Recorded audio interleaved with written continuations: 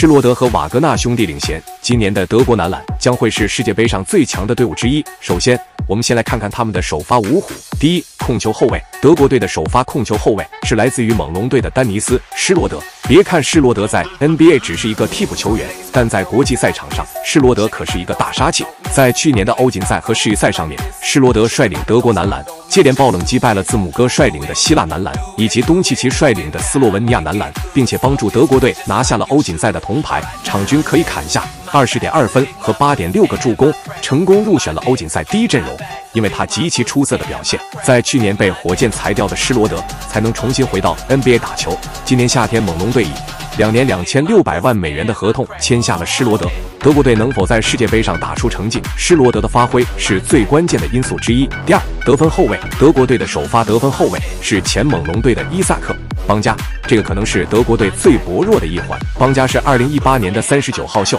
当时被湖人队选中之后，他场均只能拿到零点九分，只打了一个赛季就被交易到了奇才。邦加一共在联盟里打了四个赛季，但是他最高一个赛季场均才五分，实在是难堪大任。去年在合同到期之后，邦加就选择加入了慕尼黑篮球俱乐部。缺点方面，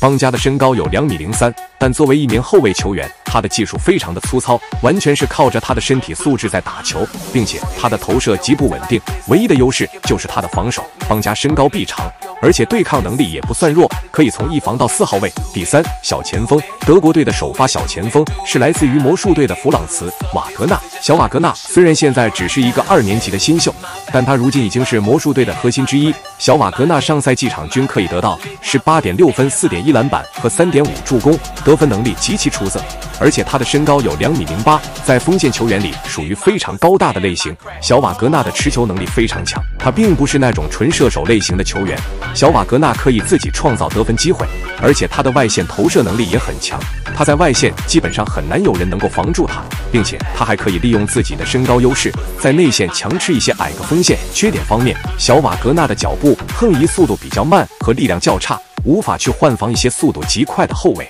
以及那些高大的内线球员。但他的实力目前是仅次于施罗德的第二人，可以说小瓦格纳就是德国队未来的领袖。第四大前锋，德国队的首发大前锋是来自于独行侠的马克西·克勒贝尔。克勒贝尔是一名空间型的大前锋，上赛季他在独行侠场均可以得到。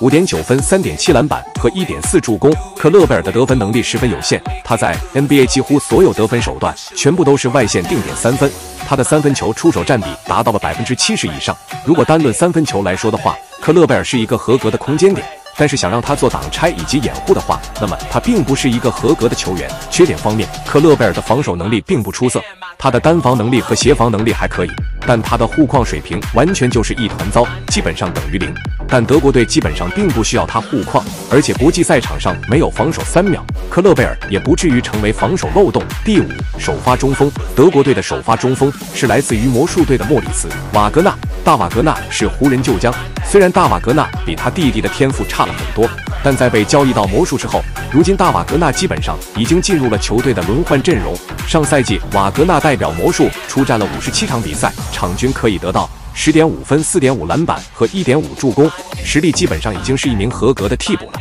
而且瓦格纳还有一手三分球技术，虽然命中率只有百分之三十一点三，但对手也不能完全放他不管。瓦格纳还是属于一名比较不错的空间点。缺点方面，瓦格纳的横移速度非常缓慢，这让他的护框优势荡然无存，而且他还很容易被后卫点名。